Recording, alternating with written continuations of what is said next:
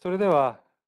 震災後文学の、えー、今日は第3回目ということに、えー、なります、えー、お話を進めさせて、えー、いただきます。今日はですね、まあ、これまであの小説を、まあ、ご紹介してきたわけですけれども今回は小説ではありません、えー、和合良一というえ方の詩のこれで何と読むか分かりますか？分かんないですよね。私も最初見た時には読めませんでしたけれども「詩のつぶて」という詩集です。ちょっと変わった詩集なんですね。はい、詩のつぶて。2011年に刊行されているものです。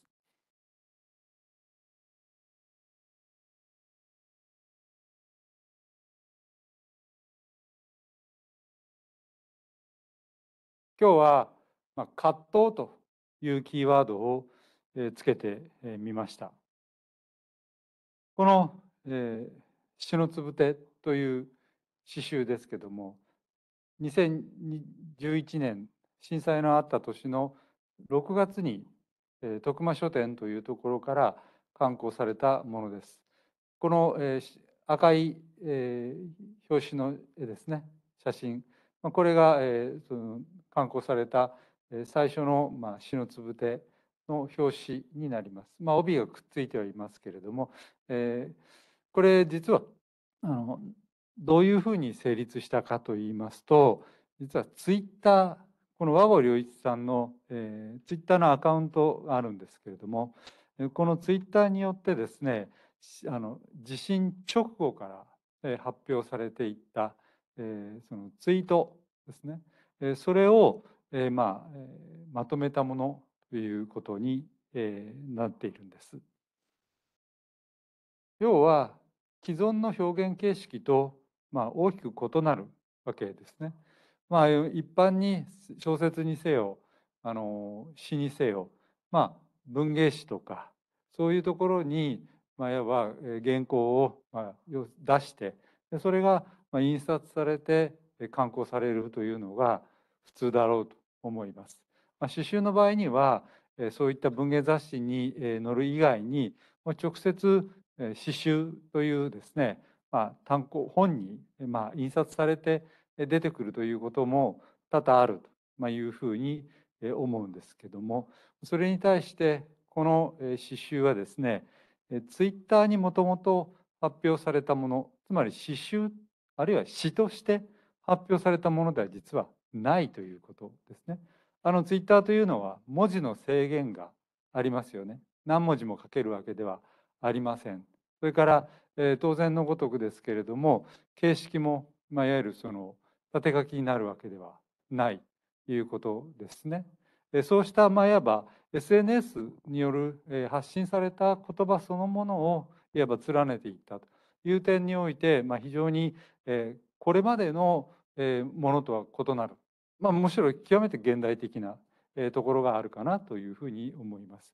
でしかもこの、えー、和合さん、まあ、その前から詩人として活躍されていらっしゃった方です。まあ、どんな方かというのはこの後紹介いたしますけれども、えー、その詩人として活躍されている以外にですねさまざまな、えーこうまあ、文化活動、えーまあ、あとは国語の先生でもいらっしゃっ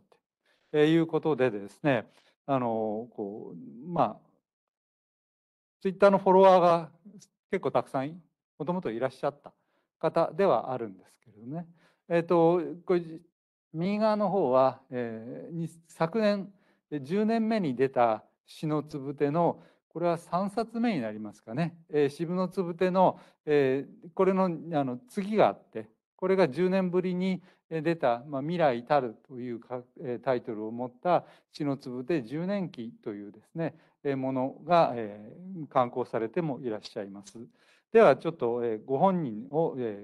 についての紹介をしたいと思います。これはまあ徳間書店のホームページに書いてあるものをコピーしてきました。まあ、和合良一さんは68年の福島県の生まれ あの実はですえー、私はあの、えー、この和合さんの、えー、まあ、フォロワーでもあると同時に、えー、Facebook のお友達でもあるんですけれどもあの和合さん東洋大学に実は、えー、お知り合いがえいらっしゃって教えの方が教授をやってらっしゃってそのつながりであのメールのやり取りをあのさせていただいていることがいただいてはいるんですけれど、はい、個人的にはお会いしたことまだ一回もないんです。お会いしたいなと思いながらもお会いはしてないんですけど、え福島大学を卒業し、まあ、国語の先生を、まあえおやりになりながら、え詩人として、えこちらにあるようなですね中原中也賞という賞ですとかあるいは第47回の土井万水というですねあの明治大正昭和と活躍されたしたあの詩人の名前を冠した賞ですけれども万水賞というのをまあ受賞されたりもすでにしていたわけですね。でこの、えー、東日本大震災に、えー、まあ、被災した中で、えー、ツイッターの投稿を続けて、まあ、今回のこの紹介する「死のつぶて」という、まあ、本として、まあ、書籍化され刊行化されその活動はまあ非常に高く評価されてですねさまざ、まな、えー、こう文化賞というものを、えー、受賞もまあされています。このツイッターの投稿は、えー、当日からものすごいカウントのあのリツイートまあ、されて、えー、もうそのこと自体であのいう、まあ、話題になっていた、まあ、トレンド入りもしたですね、えー、そういうものでもあったんですけれど、はい、この、えー、本にまとめられてさらに、まあ、大きな反響が、えー、あった、えー、ようですね。というのはフランス語にこの「えー、詩のつぶてが」えー、翻訳された。で、そその翻訳された「詩のつぶて」がですね2017年にえー、ニュンクレビューポエトリー賞の第1回、えー、ですね、をの、えー、賞を、まあ、受賞されたということでこれはあの日本人で初めてまあ初めてといってもこれ第1回ですからそれ以前があるわけではないんですけれどもただ日本人で、えー、そのの作品でフランス語に翻訳されたものでフランスの文学賞を、えー、取ったという人はあまりいないというふうに、えー、思います。でこれはまあ,、えー、あのニュンクレビューというのはニュンクレビューというのはあのいわゆるその書評誌ですね。えー、その、まあ、書評誌の、えー、出版社が、えー、せんあの作った文学賞、えー、なんですけれども、まあ、それをまあ受賞したと、まあ、いうこと。近年海外で、えー、そうやって翻訳されたあの小説や、えー、作品が、えー、こうその国の文学賞を受賞するということがまあ、結構増えてはきていますけれどもねあのなかなか詩でこういうふうに受賞するということは珍しいというふうに思います。まあ、こちらにあるようにさまざまなその後の詩集もお出しになっていらっしゃいますしエッセイ集ですとかそういうようなものも出していらっしゃるまたラジオのですねパーソナリティも強務めていらっしゃりいま、だに、えっと、ツイッターのアカウントこちらに書いてあるアカウントで、発信をし続けていらっしゃいます。最近の,、まあ、あの活動ですと、まあ、あの Facebook なんかに書いてあるのを、えー、拝見していますと、まああのえー、音楽家とか、えー、そういった方々と、まあ、一緒にコラボレーションして、まあ、あのこうコロナコロナがこう少しずつ対面に今戻ってきているということもあってですねイベントも再開されていらっしゃるようなところがあります。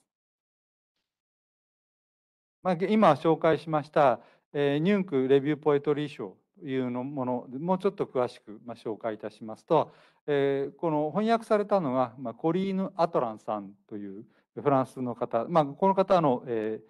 ー、日本にも、えー、在住されて、えー、行ったり来たりされている方、えー、ですけどももともとは村上春樹の、えー、翻訳を、まあ、フランス語翻訳をされた方として、えー、有名な、えー、方でいらっしゃいますけども、まあ、この方に、まあ、翻訳してもらって、えー、そのこう受賞したというものですね。はいまあ、こちらに書いてあるように2002年に創刊された、えー、雑誌、です。まあ、受賞理由として、えー、福島の、まあ、原発災害という、まあ、悲劇的な状況の中で湧き上がる、まあ、詩的言語の奥深さと清らかさそして外に向けて発信し、まあ、状況を伝ええー、そして現実、えー、歴史を、まあ、証言する緊急性が、まあ、ツイッターという手段と、まあ、相まっているといいうところから、まあ、受賞されしたということですね。まあ、フランスというのは、え、ヨーロッパの中においても、え、原子力発電所が、え、非常に多い国前にもお伝えお話したかもしれませんけれどもね。あの東日本大震災の後に、えっと、ドイツは、え、原発、を、まあ、全て廃止するというあの政府決定を、しましたけども実はドイツにはもともと原発そんなに数なくてドイツはま今ウクライナ戦争で話題にもなっているように、ま、ロシアからですねエネルギー供給を受けていたりフランスでの原発から電力を買ったりというような形であの実はあのエネルギーを、まあ、あのこう確保していたということもあって、まあ、ドイツがあの脱原発って意外と簡単な簡単なって言って語弊があるかもしれないそんなに難しい話ではないんですがフランスはもうあの原発そのものを輸出もしていますしあるいは、えーとまあ、使用済み核燃料の再処理、え施設を、えまあ、持ってもいますね。日本はあの自国においてあのその再処理施設を作ることができませんでしたよねあの失敗して、えー、そのこう作ることができなかったわけでそれは結局フランスに運んでフランスで再処理をしてもらって、えーこうまあ、それを再利用するという計画だったんですけれどもそれも今頓挫していますけどもねというように実はフランスというのは世界でもあの原発のまあ輸出国としても有名なまあ国なんですね。まあ、だからこそあのこの日本での災害特に津波というよりも原発災害ということに非常に強い高い関心を持っているということはあるわけでだからこの詩集がですねあの翻訳される、まあ、結果きっかけにもなったんでしょうしまた受賞するというぐらいこう非常に注目を集めたということもあったというふうに考えられます。受賞にあたっての和合さんのメッセージというものが雑誌に載っていますので一部省略した形でご紹介したいと思います。これは2000ですから震災からもう6年経っていますよねあの翻訳されて受賞されるまでに。震災から6年今回において東日本大震災の直後から書いてきた言葉が海外の方々の手に渡り震災のことについて福島のことについて語り継いでいただく機会となれば幸いです。海外と福島とがもっと直接に人とつながっていくことを願ってまいりました。震災から6年が経ち歳月を経た震災や社会の在り方についての新しいまなざしや考え方を得てそれを伝え合うことができればと変わらずに願っています。今回を機にこれらの活動にもっと意識的に取り組みたいと心を新たにしております。うんぬんというふうにま語っていらっしゃいます。このまあ母線で私が引いたところですね、やはりその震災というものをこう経て、そのまあ社会の在り方についての新しい眼差しや考え方というものをまあ伝え共有していくことそれがまあ大切なんだというふうにメッセージ受賞メッセージで述べられている点が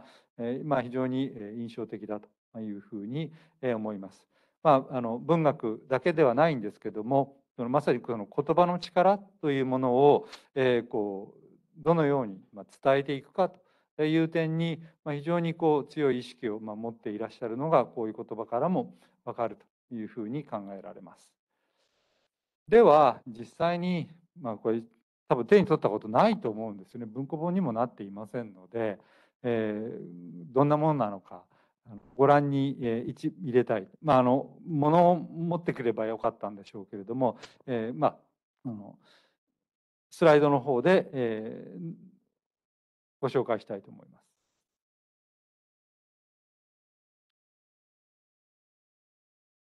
これ冒頭ではないんです。あの震災の5日後になってますからね、えーと、2011年の3月16日の日付が入っていますけど震災に遭いました避難所にいましたが落ち着いたので仕事をするために戻りました皆さんにいろいろとご心配をおかけしましたあげましょうありがとうございますあのさっきも言ったようにこの前に、えー、その震災の11日からですね、えー、避難所に行くまでのバタバタバタバタした、えー、そのメッセージもあのツイッターもあることはあるんですけれども、まあ、そこは今省略させていただきましたけれども、まあ、あの震災からこれ5日6日経つわけですね。そういった中でようやくこう落ち着いてはきて避難所に一旦は逃げたんだけれどもあの仕事をするために仕事部屋住まいの方に戻ったあのもちろんご家族いらっしゃるわけでしてご家族はあの福島を離れて避難したということのようなんですけれどもごご自身は、まあ、仕事もありますし、え、まあ、あの残られたと。いうことなんですね。はい、本日で被災6日目になります。ものの見方や考え方が変わりました。行き着くところは涙しかありません。私は作品を修羅のように書きたいと思います。まあ、この修羅という言葉、えこれは福島出身の詩人といえば誰を思い浮かべますか？日文文の学生さんなら出てくるかなと思うんですけども「春と修羅」というタイトルの詩集を書いたことで有名な誰？自分学生さん。わかります？誰だ、えー、上野さん。福島。あ福島と言っちゃいけないね。東北出身、えー、まあその方は、えー、岩手ですけどもね。岩手出身。うん出てこないかな永井さん。はい、その通りですね。春と修羅、宮沢賢治。うん、修羅のように書きたいと思いますというこの言葉明らかに宮沢賢治を意識しているんだろうとえ思います。まあ当然ですよね。東北出身の詩人で、えー、というふうになったら、えー、戦前の、まあ、いわゆる大正時代のですね宮沢賢治があまりにも有名ですから岩手出身ですけれどもあの、まあ、宮沢賢治を意識しながらおそらく、え、詩人として、え、和合さんもあの活躍され活動してきているはずだろうと、まあ、いうふうに思います。意識しているかどうかは別としても、えー、こういうところにそういう言葉がまあ出てくるというのは、えー、まあこれ詩として書いているわけではないんでしょうけれどもやはり作品のように作品を修羅のように書きたいというふうに言ってるところに詩人としての意識っていうものは、えー、やっぱり出てきているんだろうなっていうのは分かりますね。で、えー、非常に有名になった言葉はこれです。放射能が降っています。静かな夜です。放射能が降っているというこの表現、えこれはあの「死のつぶて」というこの、え作品の中において、え繰り返し、ま出てくる、えキーワードでもありまたこの「死のつぶて」の、え詩集等にこのツイッターによって、えまあ、非常に多く、まあえ広まっていった表現の一つだと思います。ここまで私たちを痛みつける意味はあるのでしょうか？あなたにとって故郷とはどのようなものですか？私は故郷を捨てません。故郷は私のすべてです。今これを書いている時にまた地鳴りがしました。揺れました。息を殺して中腰になって揺れをにらみつけてやりました。命の駆け引きをしています。放射能の雨の中でたった一人です。はい、こういうふうに、えー、あるわけですね。これを見て何か、えっと、気が付くところありませんか？あのこれこういう、えーまあ、ページこういうふうになってるんです。普通の刺繍、まあ、横書きであろうが縦書きであろうがですねあの出てこないもの書いてないものが書いてあるの気がつきますよね。これですよね。日付と時間がこれツイッターですから当然ですね、ええ、あの短い短文の後に必ずそれが何時何分のもの、えー、ツイートであるかっていうことが、まあ、出てくるわけで。もうこれなくたっていいわけですよね。なければ単に多分普通の、まあ、横書き詩集のように見えますけれどもね。外したってよかったはずじゃないですか、はい、これ外してない。やっぱりこれは記録として本人が残そうと思った。つまり刻々と、まあ、いわば状況が変わっていくそれは周辺状況が変わっていくだけではなくて自分の中の心感情そうしたものも時とともに、えー、変化していくっていうところがあるわけなのでそうした、えーまあ、変化そのものをいわば、えー、記録していくですね、えー、別の意味での、まあ、リアリティなんでしょうね。えあの刺繍というのはあんまりリアリズムと、えー、こう深い関係にないじゃないですか。どちらかというとむしろあの比喩表現であったり、えー、まあこう非常にこう抽象的な、えー、こうあるいはなんだろう概念的なさらには絵画的な、まあ、そういうような言葉があのこう表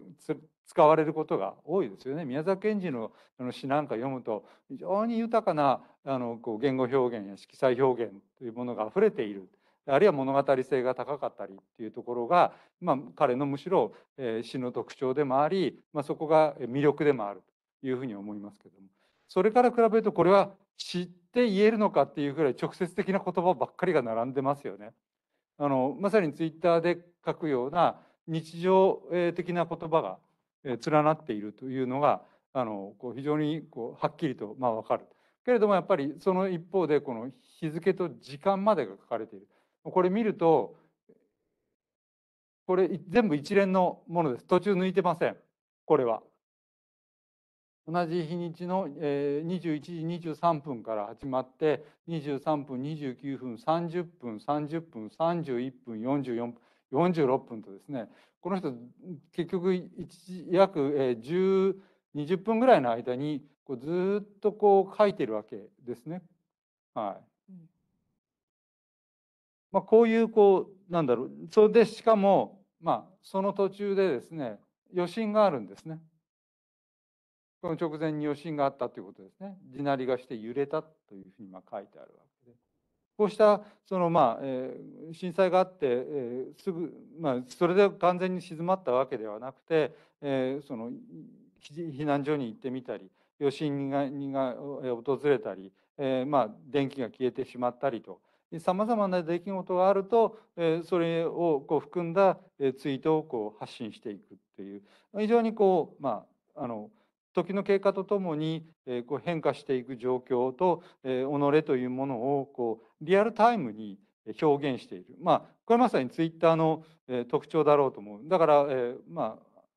フォローしてる人にとってみるならばえずっとそれがこう流れてくるわけじゃないですか。相当和合さんが、まあえ、何も考えてえどんなふうにこうえこう心が動いているのかっていうのが、まあ、手に取るように分かるというところがあるわけですよね。その中でこの言葉ですねまさに修羅のように、え私は作品を書いていくんだというふうに言っています。あるいは、えその私たちを痛めつける意味はどこにあるのか、まあ、これは自然災害に対して、えそういうこう問いかけをしていることになるんでしょうね。あの誰か人間が自分たちを痛めつけてるわけではありませんから、えそれでもなぜこんな悲惨な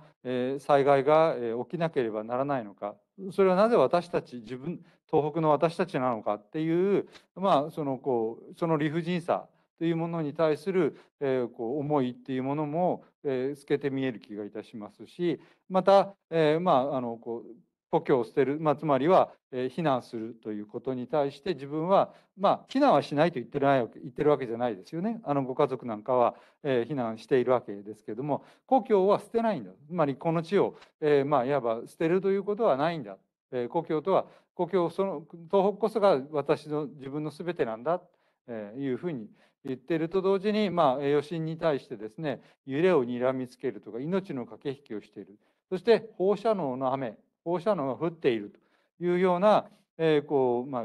こう表現というところが、まあ、現実その状況をどのように見てるかっていうことを示しているような気がいたします。はい、えー、続いてこういうふうに、えー、続いていきます。これは18日の部分ですね。はい、私は震災の福島を言葉で埋め尽くしてやる。今度は負けねえぞ。あのこれカタカナで書いてあるのも分かりますよね。宮沢賢治のあの「雨にも負けず」風にも負けず」っていうカタカナで漢字とカタカナで書かれた有名な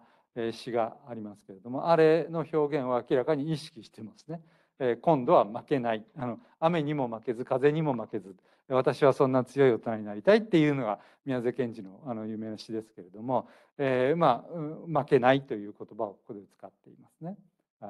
僕はあなたの心の中で言葉の前に座りたいのです。あなたに僕の心の中で言葉の前に座ってほしいのです。生きると覚悟したもの、無念に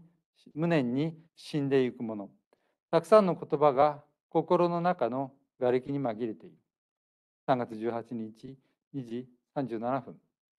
その前のですね、3月18日のこの「今度は負けねえぞ」というのは実は深夜の1時6分ですね。ここからまあ昼になってますけど。はい、でさらにこれはあのあの抜粋です。続いてるわけじゃありません。こういう言葉もありました。3月20日の22時28分のツイート。馬が追う、言葉が追う、余震が追う、馬が来る。言葉が来る、余震が来る。馬に取り残される、言葉に取り残される、余震に取り残される。僕は、え、幼くなるしかない。ワン、お母さん、お母さん。こういうふうに続いているわけです。これ、なんで馬が、馬が出てくるの？分かりますか？福島の、えー、伝統的な行事に相馬の野馬追いという、えー、行事が、えー、あります。まあ、いわば、えー、福島県、えー、相馬といえば江戸時代から要はその馬を生産する、えー、産地として非常にまあ有名ですね。でまああの今も、まあ、日本三大記載珍しいお祭り三大記載の一人一つとしていわばその馬に乗って甲冑を着てそこに旗を立ててその旗をえーまあ、馬に乗ったまんま取りっこするというですね野馬追いというお祭りが毎年開かれています。あのまさに福島の相馬という愛相馬というのは愛引変に目と書く。それに馬と書く。えまさに馬が町の名前にもえ、と入っているぐらい、まあ、福島といえば馬というですね相馬といえば馬というですね。そういうこうえ象徴えこの福島を象徴する動物生き物ですね。でまさにその馬追いのえ言葉にえこうまあ引っ掛けてえこの馬が追う言葉が追うというふうにですねこう述べてあの書いているという言葉ことなんだというふうに思いますがここで繰り返し出てくるのがそのまさに言葉というものですね。言葉で埋め尽くすんだ。えあるいは言葉の前に座りたい。たくさんの言葉がえ心の中の瓦礫に紛れているんだ。そしてえ言葉が追ってくる。言葉が来る。言葉に取り残される。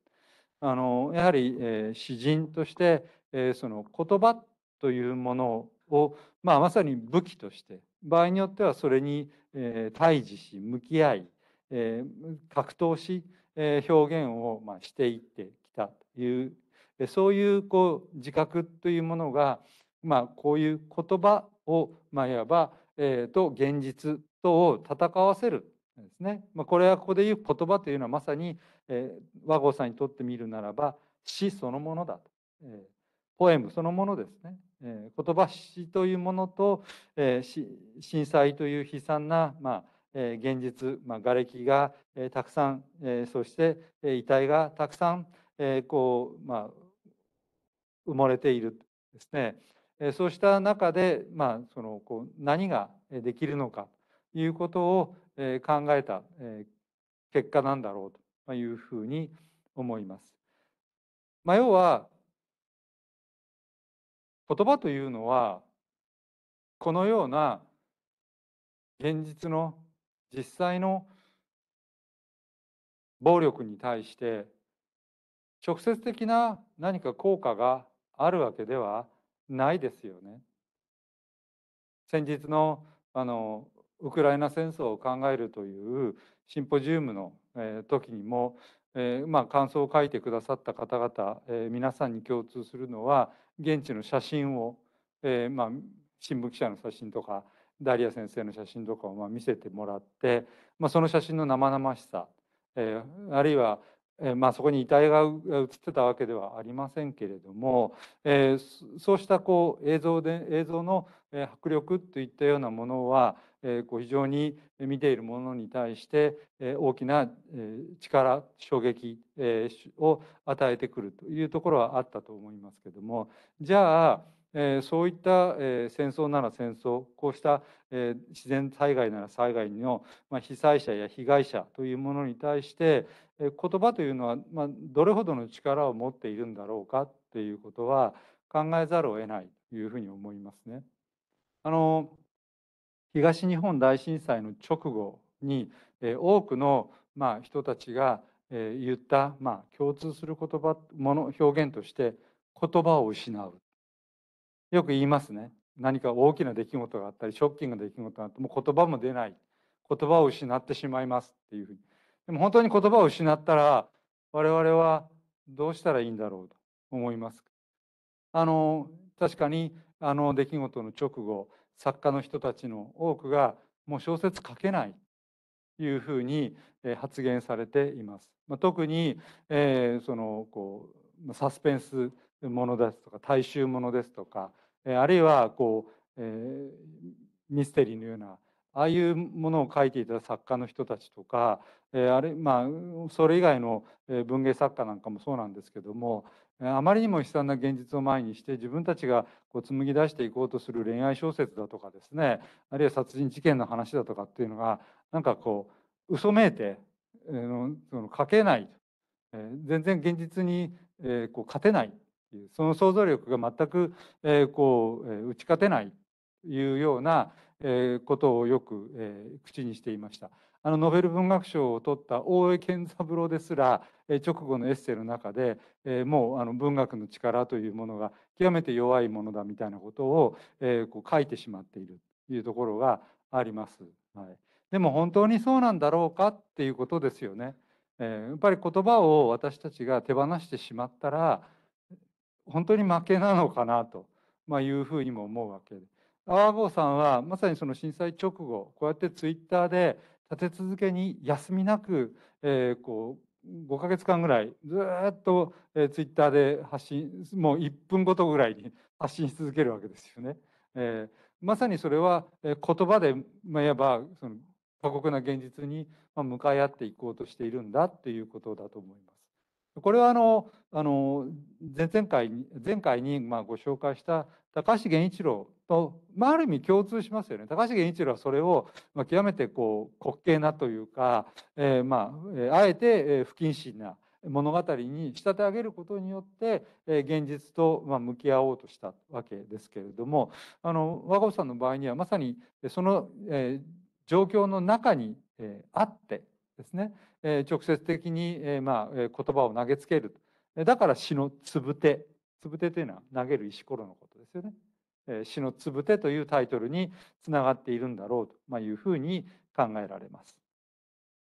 はい、えー、続いてこんなふうにこれはあの震災からだいぶ経つ、えー、だんだん日にちが経ってきますね。3月の23日7月の9日そして5月の25日というふうにですね終わりに近づいていきます。はい。そうすると、まあ、このように表現されていきます。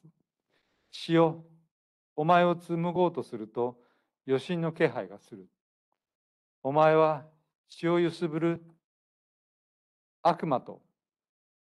もしかすると約束を交わしているのか。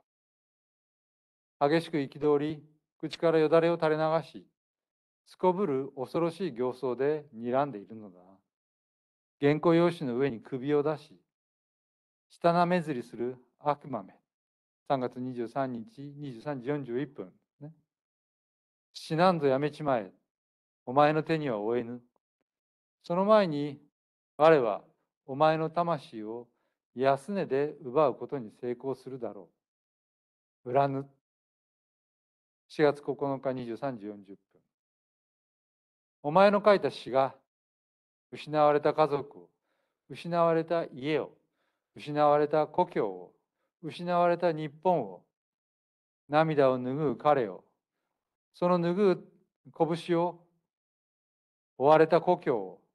追われた日本を、育ててきた牛に大釣りして泣く彼を、親しかった風と土よ誰も遊ぶ人のいない砂場を取り戻せるのか。ここは対話形式になってますね。まあツイッターの字数ギリギリ使って表現しているように思いますけれども、まあ、当時と今とツイッターの制限字数違っているかもしれませんけれども、はい、ここでは、えー、その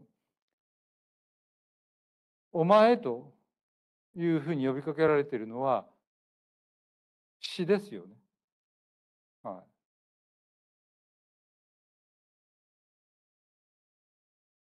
詩を紡ごうとすると余震が来る。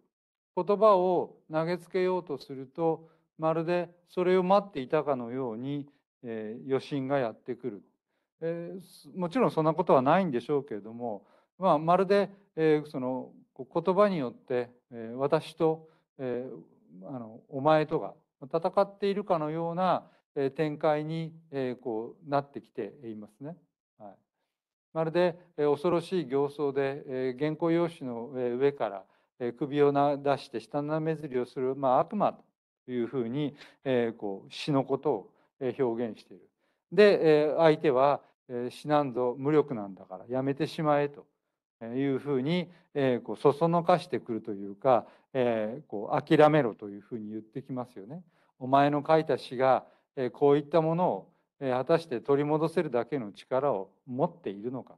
非常に現実的な、え、ものが書かれていますね。え、家族や家故郷を、まあ、いわば奪われた人々。えそして、え、そのそういったことから涙を拭う人々ですね。そういった人たちのことをですねどれだけまあいわばこう慰めることがあるいは取り戻すことができるのかというふうにまあ相手から死からまあ、むしろ問いかけられてきてしまっているこれはまあある種の、えー、こうダンテの新曲の模倣だと思います。えーえー、その対話になってるわけですね。まあ、いわば悪魔余震と結託した言葉や詩というものが、えー、と我自分詩人である自分とがいわばこう懸命に、えー、こう戦っている対話をしているというですね、えー、そういう、えー、形式を、まあ、模倣しているというふうに思います。そうだとするならば、えー、その言葉で戦う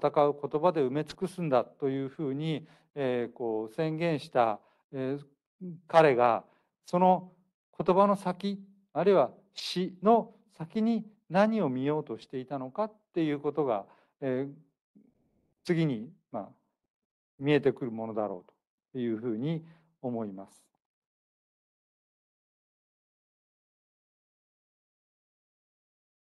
それが、まあ、要はこのようにこれ非常に、えー、実はあのこれごめんなさい、えっと、私が編集しちゃいました。本当はこういうことしちゃいけないんだと思うんですけどもあのとても1枚に収まらないので編集させていただきました。えー、0時50分から始まって朝の5時26分まで実はこのこの区切りごとに何時何分何時何分何時何分というずっと実は書いてあるんですけどそれやるとあの3ページぐらいにわたるんで、えー、その全部つなげちゃったんですけれどもね、はい、でも深夜から明け方にかけてこれだけの言葉をこう絞り出してきてるわけですよ。はい、読んでみたいと思います。俺の死が俺の死に滅ぼされる。悪魔の終焉。この時、俺は悪魔につぶやくだろう。魂を返せ。夢を返せ。福島を返せ。命を返せ。故郷を返せ。草生きれを返せ。村を返せ。詩を返せ。くるみの木を返せ。魂の木を思う。魂が転がる闇を思う。魂は夜を明かす。魂は言葉をつぶやく。魂を生きよ。魂を生きている。あなた。あなた。大切なあなた。あなたの方に涙。いつか安らぎの一筋となるように祈ります。そして共に船の舵を、死の舵を、闇の港から光の岸辺へ私たちが朝となり、誕生私たちが誕生となり船を死をこぎましょう。新しい死を生きるために共に信ずるここに帰す。祈りとしてこの言に託す。明けない夜はない。というふうにですね。続いていきます。自分が、まあ、いわばこう発信しているこの、えツイッターの言葉が、まあ、まさに一つの詩である、え俺の詩というふうにここでは捉え直されているんではないかと私は考えます。この詩が自分の詩がですね、えー、こうまあ現実と戦っていく中で、えー、こう滅ぼされていく。言葉がある意味無力だということを、えー、こう実感せざるを得ない。けれども自分はこのまあ震災という現実に対してこれがまあ悪魔ですけどもねに対してつぶやき続けるだろうと、え返せ。返せと。いろんなものを返せとそしていろんなものを思うというふうにですね、えー、言葉をやはりつぶやき続けるんだとそして、えー、生きようというふうにですね、えー、こう人々を、まあ、このツイッターは当然、えー、発信している、まあ、聞いている人見ている人たちが、まあ、いるわけです。まあ、多くの被災者あるいは被災者だけではないむしろ、えー、何万人という方がツイートしてたんですけれども、えー、この世界中の、まあえー、こう人たちに対して、えー、そのこう発信してるわけですね。魂を生きよう、えー、そして、えー、祈るというふうにも、えー、つぶやいてい、えって。そして最後ですね、えー、祈りとしてこの言に託す。その言言葉とは何か。明けない夜はないんだ。明けない夜はないというですね、まあ、この言葉だというふうに思います。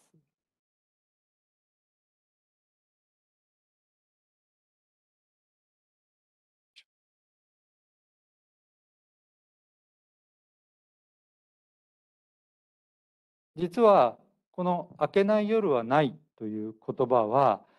この「父のつぶて」と題された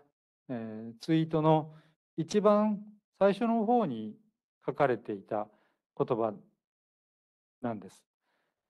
3月17日午前0時24分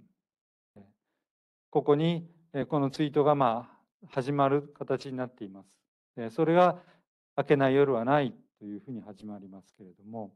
そして5月26日えー、ごめんなさい、さっき5ヶ月と言ったのは間違いですね。5月ですね。ですから2ヶ月ちょっとですけれども、えー、この、えー、26日、5月26日の、えー、5時26分、えー、これ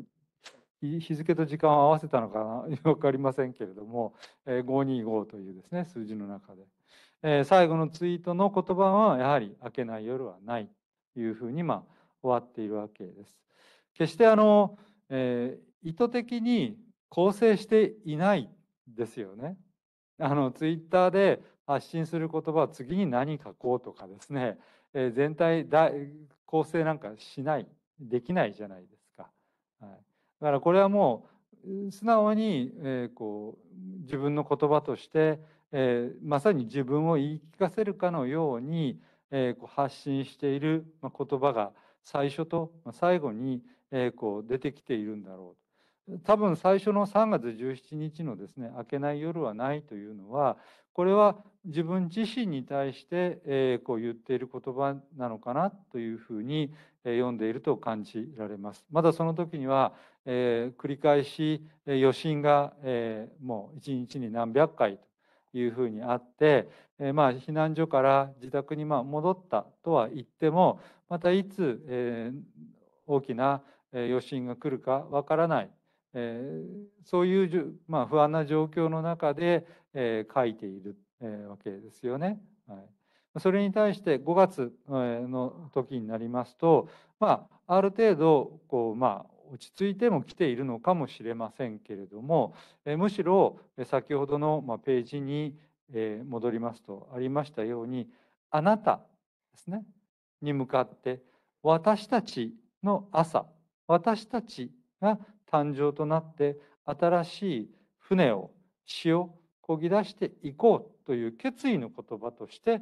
明けない言葉祈りとしてと書いてありますけどね、えー、そのこう明けない夜はないというような言葉をつらん、えー、ここで、えー、こうつぶやいている、まあ、わけですからだいぶ言葉の、まあ、性質というか、えー、向きが変わってきているのかなと。自分自身にこう内側に向かっていた言葉が、え、最終的には外に向かって、え、他者に向かって、えまあ、これこそがいわば詩の力、え、言葉の力というふうな意味で、え、こう明けない夜はないんだというふうに、え、つぶやいていると、いうふうに考えられる。この言葉は、原発爆発事故の、今というものを、生き続ける、まあ、その覚悟ですね。を、えー、まあ、えー、こう己に示すとともに、まあ、周囲の、えー、被災した人たちや故郷を追われた人たちやあるいは、まあえー、福島のそういう状況を、えー、見守っている人たち、えー、皆に対して、えー、こう今を生きていかなければならないんだということを発信している祈りの言葉だと。いうふうにま言えるんではないんでしょうか。え死という形式をいわばもう超えて、まあ、一種の宗教性を帯びているというかですねえ心の中の祈りというものになってきているんではないかというふうに考えられます。先ほども申し上げましたようにこの死のつぶてというのは、まあ、特定の状況の中で即興的に作られたことを示している日付と時刻というものが一行一行に、まあ、いわば刻印されています。それは後戻りできないですよね。あのツイッター編集するっていうわけにいかないですから。書いちゃった間違えたけどちょっと消しとくとかですね。いやまあ機能的にできるのかもしれませんけれども、えー、まあ普通そういうことはしないじゃないですか。えー、まああのもちろんあのポチる前に発信する前に誤字脱字がないかぐらいは、え、詩人ですから、え、してるだろうなと、ま、いうふうには思いますけれどもあのその後の遂行というような形式を取ることはないですよね。これはあの普通のまあ、普通のというのも語弊があるかもしれませんけども文芸雑誌やそういうものに、え、こう発表していく場合には、え、雑誌で発表した時、え、それを例えば詩集に編纂していく時なんかにあの詩人というのは順番を変えたり、言葉を削ったり足したりというふうにですね遂行をたくさんしますね、まあ、原稿段階でもします。先ほどから何度も名前が挙がっている宮沢賢治なんかはですね現行段階でおびただしい遂行をすることでもま有名です。はい、それに詩集雑誌にま発表した後に第一詩集第二詩集という詩集に収める際にですね発表された雑誌に発表された順番とは違う順番で配列で詩を組んでいきます。それは詩集という一つの、まあ、出来上がった一つの世界を作り上げていくために詩そのものを配列し直していくっていうことが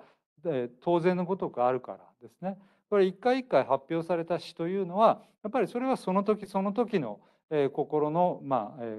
あ現れというかえそういうものとしてえ発表されているのでそれが詩集の中に入らないケースだって当然あるわけですけれども詩というのは詩集というのはあの3分以上にえそうやってえ遂行過程や構成やえ組み替えやっていうことが自由にできる表現形式だと思うんですけれどもそれから考えるとこのツイッターで一度発信してしまったものをですねあの詩集に載せる段階、まあ、単行本に載せる段階で全部書き直しちゃったらですねこれ意味なくなるわけですよね。いや意味なくなるどころかそれじゃフェイクになっちゃいますよね嘘ですよね。えー、だからそれはできないわけですよ。極めて一体性の高いですね、えー、その時間性というものがむしろ先ほどから読んできたような、え、こう言葉の、えー、革新性リアリティですね本当にこの人は心の底から、え、こういう言葉をつぶやいているんだ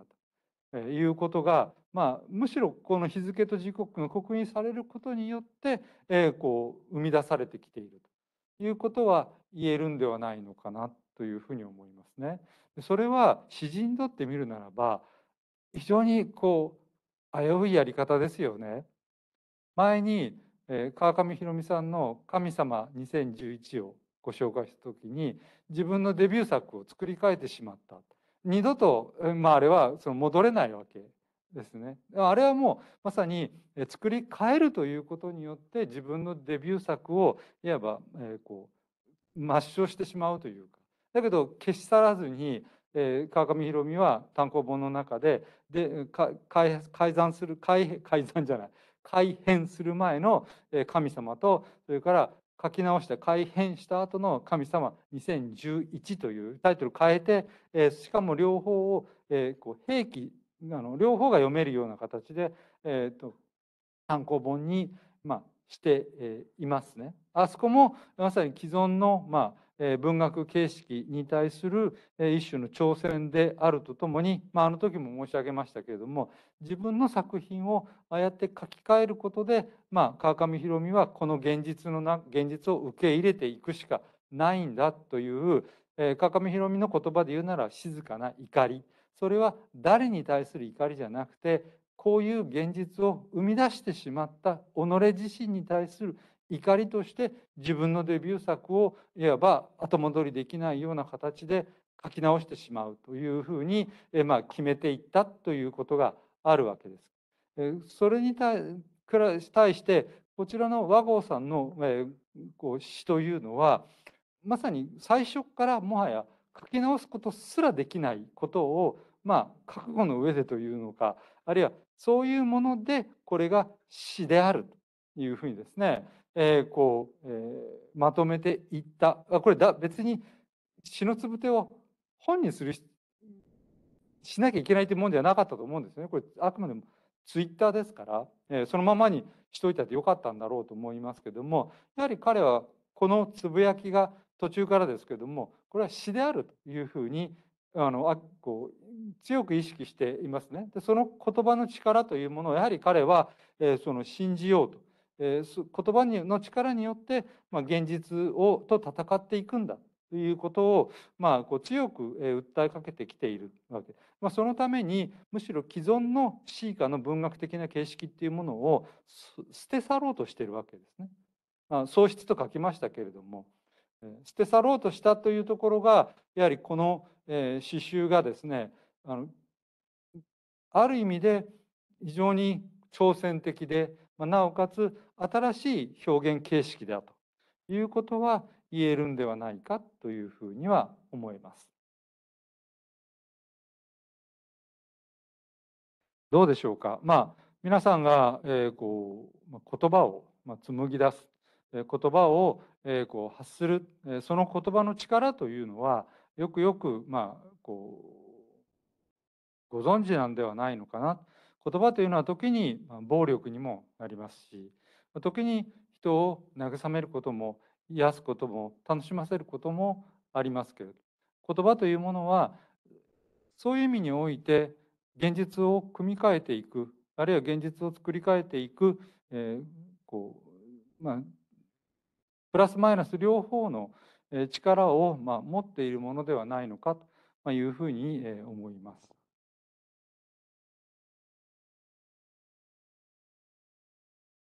はい、えー、和子さんは2年後の、えー、2013年の3月11日に徳間書店の方から、えー、続編を出していらっしゃいます。詩のつぶて起承これごめんなさい直しそびれました。えー、起承転結と書いてあるんですけれどもあの実際には起承点々です。あのここ見ると分かると思います。ここ点結とあのあのそのままか書いてしまいましたごめんなさい。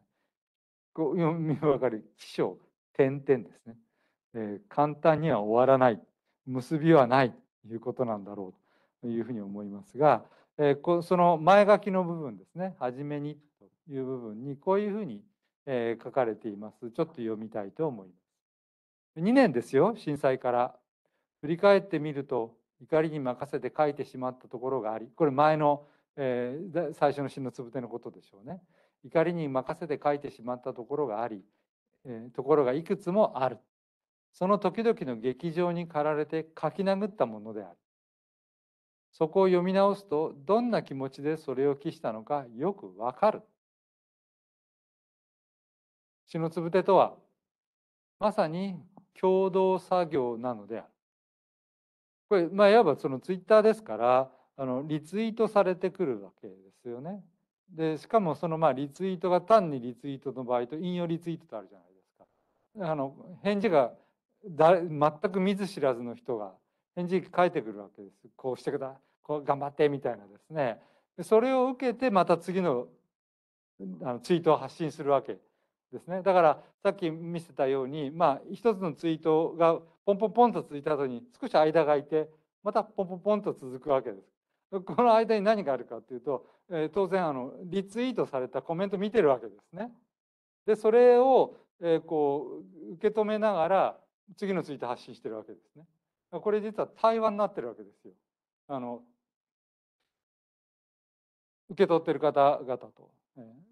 なんでこういうふうに言うんでしょうね。え舞台やステージのあるライブの劇場ととてもよく似ていて客席のエネルギーをそこにあって初めてこちらもそれを返すことができる会場の熱気のようなものを目の前にある何かを仲立ちにしてお互いに分かり合うことができているようにいつも感じるのだ。これあの詩というまあ、極めて即興的な本来ものですね短歌や俳句もそうなんだろうと思いますけれども場というものを、えー、ここで、えー、こう疑似的に獲得することができたんでしょうね。あの単に、えー、こう読者を頭の中で想定し己の世界で原稿用紙に向かって詩を書いているんではなくて、えー、ツイッターという、まあ、SNS の、えー、を使うことによってまあ、多くの人々の反応というものがそこでそこでリアルに受け止めることができる。でそれを受け止めることでまた自分の心というものがこう描き出されていくというところでまさにそのこう即興的なライブ感がこう生まれてくる。あの残念ながら刺繍そのものにはリツイートは全くあのえー、書かれていないのでこの熱狂ぶりはわからないです。えー、あの和合さんが発信した言葉しか並んでませんからでもその行間に実はこういうことがあったんだっていうのはとても面白い、えー、こう現象だなっていうのは思いますね。まあ、もちろんあの時あの時まさにこう震災直後に和合良一さんのアカウントをフォローしていた人はそれそのものを味わっていたっていうことになりますけれども刺繍として出来上がった場合にはそこの熱気というものは沈められてしまっているというところはありますよね。はい、でも和合さんにしてみるならばそれは自分の中に熱気として残ってるんですねこういうところを見ますと。はい、ところで目の前にある何かとは何であろうかこう言ってよければそこにあるのは生き物の存在感のようなものであり呼吸の確かさである電子媒体の画面という平らな一枚でありながらも生きたものの表情をこちらへと投げかけてくるような総合的な何かである。母線引いてありますけれどもやっぱり言葉の向こうに何を書き手読み手が見るのか感じ取るのかといったら存在感ですよね。はい、そこに人が生きているそこに人が存在しているという実存感というんでしょうかねそういったことがやはり、えー、こう大切なんではないのかというふうに思いますね。それを言葉を通して感じ取る感じ取り合うということができるかどうか。前回のあのものもそうですし、ま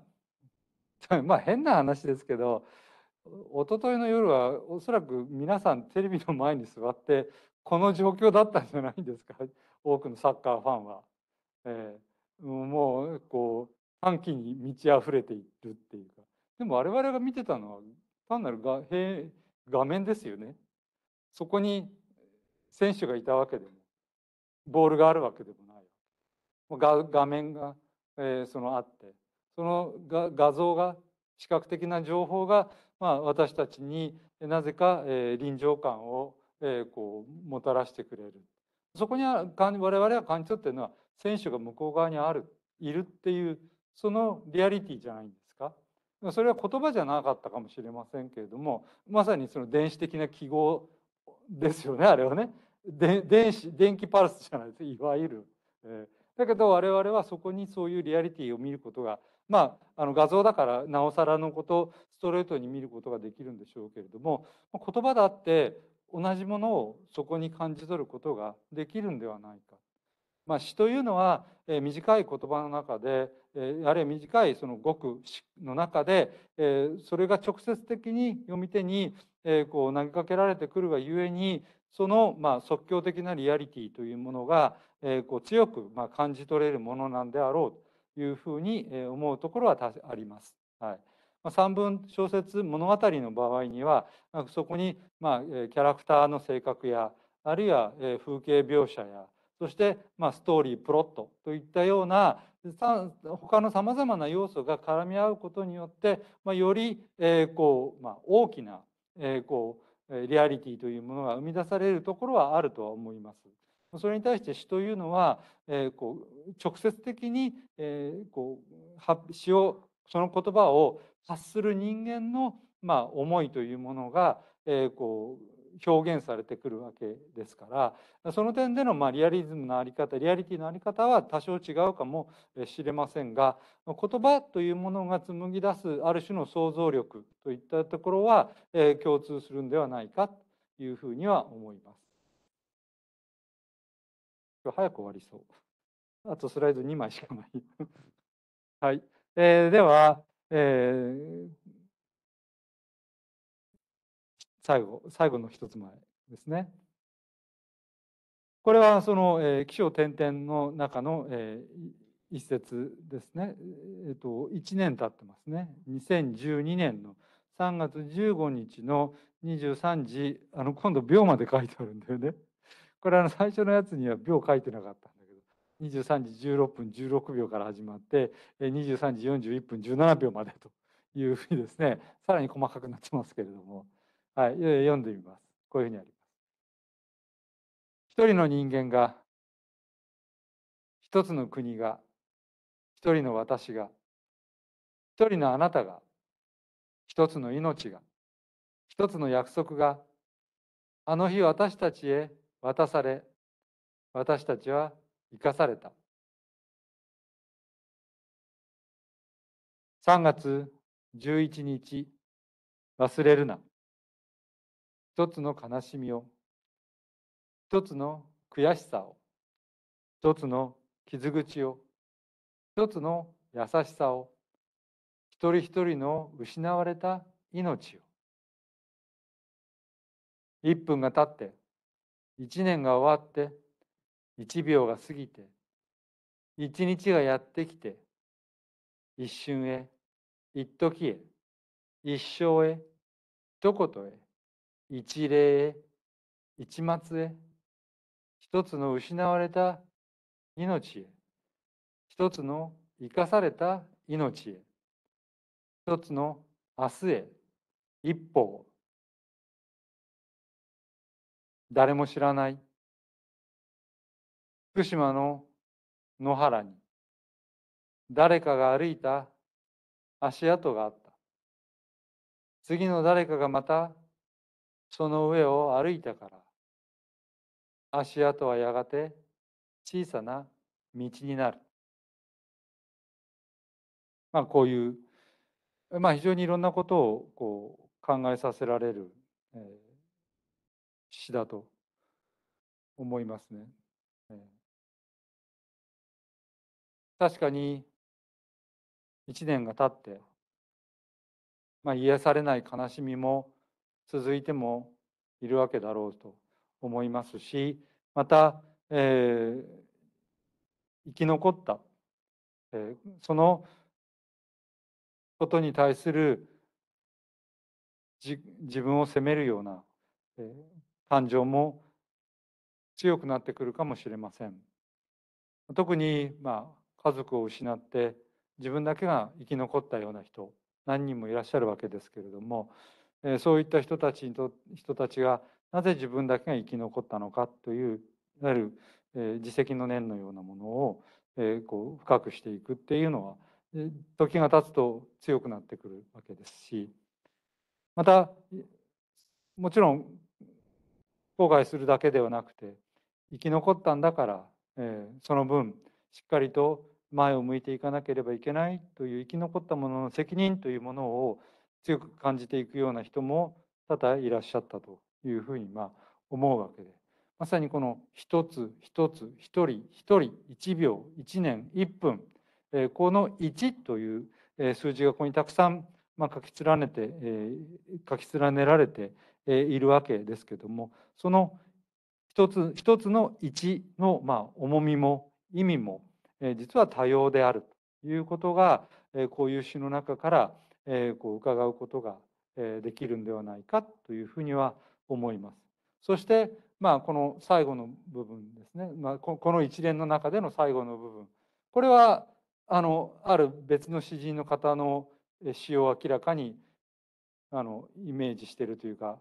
えー、踏まえているのはお分かりになりますか？今度は宮沢賢治ではない人。僕の前に道はできる。僕の前に道はない。僕の後に道はできる。というふうに始まる高村光太郎の「童貞」というですね、えー、21行ぐらいの短い詩がありますけれどもあの詩を明らあのこうイメージしてますね、えー、誰かが歩いた足跡。その上をまた誰かが歩くからそれはやがて小さな道になっていくんだ。僕の前に道はない。僕の後に道はできるんだ。まあ高村光太郎の詩というのはまさに自分自身が道を切り開いていくという、まあ、非常にこうある意味力強い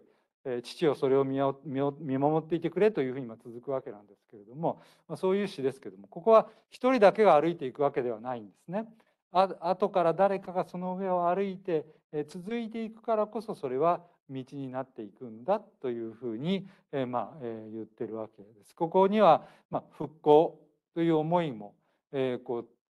重ね合わせられているんではないかというふうに考えられます。はい、その一方で、えー、こうまあやはりこれは川上弘美さんの、えー、まあいわば怒りというものと、えー、あれは静かな怒りというふうにあの時キーワードはつけましたけどもあの、えー、もう一方でやはり原発事故というものに対するあるいはその後の、まあ、いわば、えー、この政府の、え、人々の、えこうま、反応というものに対する、え、こう思いというものも、え、こうもう一方にあるんだということはもう一つのこの部分からわかるかと思います。放射能が降っています。放射能の雨が降っていますという言葉が「えー、死のつぶて」という詩集の中にはたくさんあったということは先ほど申し上げた通りですね。放射能は目に見えないわけですよね。ですから放射能が降っている放射能の雨が降っているというのはまさに一種の比喩表現なわけですけれどもそれは心情的にまさに私たちの目に見えない状況の中でその放射能汚染というものが広がっているそういったことを非常にこう苦しく思っていることの表れでもあろうかというふうに思います。2020 2012年7月1日原子力が動いています。静かな静かな夜です。この震災は私たちに何を教えようというのか。教えたいものなどないのなら、なおさら何を信じればよいのか。原子力が動いています。悲しい、やるせない、国と家の夜です。この、え7月1日、えの一連の、まあえ詩ですねこれが、書かれる背景がこちらにあるわけですね。2012年の6月に、福井県の大井原発の3号機と4号機の再稼働が、福井県知事の承認によって決定されていきました。これは福島第一原発事故が起きて最初の、まあ、一一旦全部日本中の原発が止まりましたけれども最初の再稼働ですね、えー、この時政権は自民党ではありませんでした、えー、野田政権ですね。民主党、えー、民主党政権もそのことを、えー、正式決定し後追いしていったわけでその7月の1日に、えー、福井の、えー、大井原発の3号機が、まあ、再稼働をするということで福井原発は大井原発はですね1年4か月で再稼働に踏み切られているということになります。まこの時なぜその大井原発福井県の大井原発が再稼働したかっていうのは経済性問題だったわけですね。あの日本がその原発を全て止めてしまったがために電力不足を起こしていましたねあの1年ちょっとの間。えー、まあ、皆さん記憶にあるかどうかは分かりませんけど計画停電というのもありましたし、えー、節電ということが、えー、叫ばれて、えー、夜の、まあ、いわば、えー、ネオンとかですね、えー、夜間照明というものが、えー、できるだけ、まあ、消されていくといったようなことが、えー、日本中で、まあ、起きていたというような状況で、しかも経済界の方からはいわゆるその電力不足というものは、まあ、いわばその製品を作る製造製造品を作る上において極めて大変な状況になってくる国際競争力が低下するというこの言葉を、まあ、あの民主党政権に投げかけたわけですね。まあ、代わりのエネルギーというものがないあの当時日本は再生可能エネルギーをほとんど使う生み出されていなかった。で、えー、原発を推進していたがために火力発電所はどんどん廃炉になっていった状態で新しくこう稼働できる原子あの火力発電所がなかったという状況の中でこのまんまいったら日本の経済はさらに悪化していく。そうしたら国家が経済がこう危機に瀕するんだ。そのためにはやはり電力をこう生み出すしかないという論理で再稼働が決定されていったということがあるわけ。安全性が確保できたっていうふうに言ってますけれども実際にその後また止まりますからね。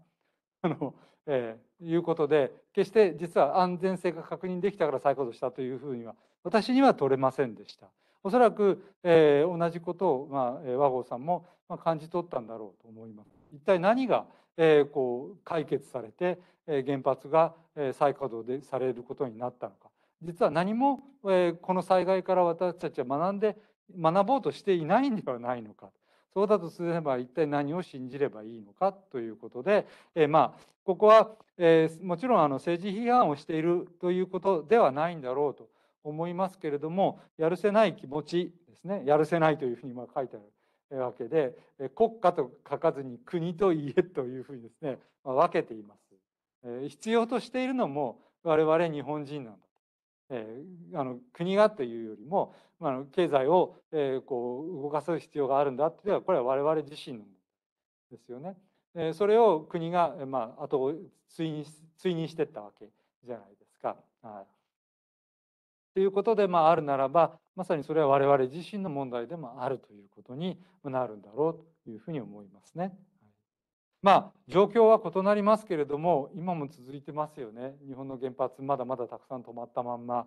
その中で今回のウクライナ戦争によって日本はまたエネルギー危機に今瀕して日本だけじゃないんですけれどもね大変な状況になってきていますよね。でそこにこの間の COP27 ですか？えー、あのいわゆる地球の温暖化に対してあの日本はかなりひどく批判されましたよね。火力発電所あの再稼働していったわけであの CO2 の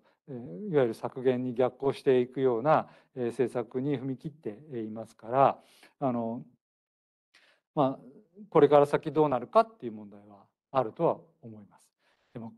ごめんなさいあの早く終わるとか言ってベラベラおしゃべりしてるんだけど 今日の今日の朝のニュース見てちょっとちょっと自分ビビりました。え東北電力、えー、来年の1月から、えー、電力料金30%値上げ30%だよ。でその,、えー、その東北電力の3割値上げに各電力会社が追随する予定その後東京電力や関西電力も3割上がるって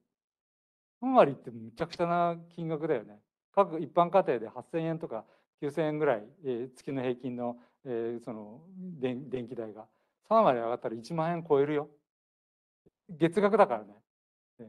年にしたら、まあ、あのお小遣い吹っ飛ぶかなっていうぐらいのですね 感じになりますよね。これ